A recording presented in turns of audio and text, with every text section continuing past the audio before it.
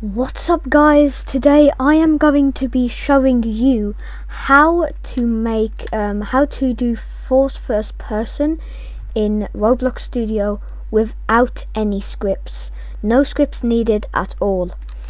So first of all you want to go to StarterPlayer, just click the folder, go down here and go to the camera mode by default it would say classic Go to the drop down list and do lock first person.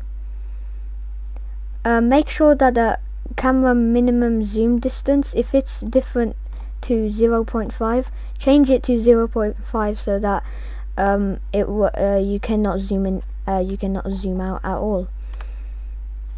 Um, so now, if we play a game, oh, if we just quickly add a spawn location, like that. And then we can play it. Um you will see that there is um force first person. So as you can see that the cursor actually moves in the middle. And when I uh, zoom out mm, when, yeah when I zoom out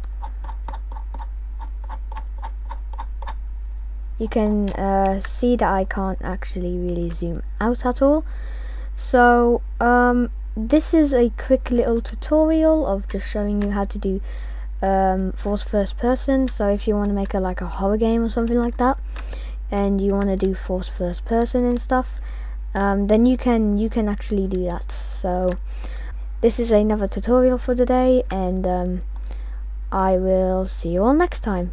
Goodbye